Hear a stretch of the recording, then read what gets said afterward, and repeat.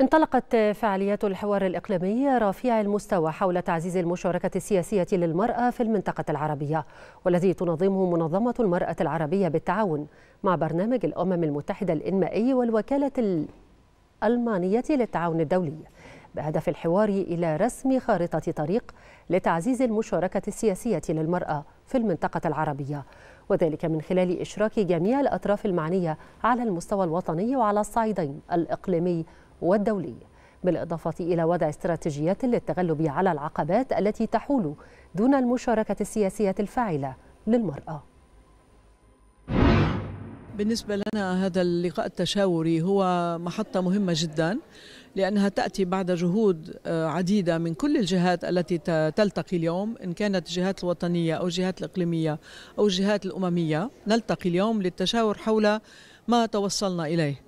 وبالتالي عندما سنستعرض التقييم والتحديات والعثرات نحن نراهن على أنه سيكون لدينا رؤية أوضح لما يجب أن تكون عليه سياساتنا في المرحلة المقبلة وإن شاء الله يتم وضع خريطة طريق للمرحلة المقبلة. مصر وصلت إلى نسب متميزة وتعدت النسبة المتوسط العالمي، إحنا مصر عندنا تقريبا 28% من السيدات في البرلمان، نحلم طبعا أن نكون تصل النسبة إلى أعلى من هذا كل مرة.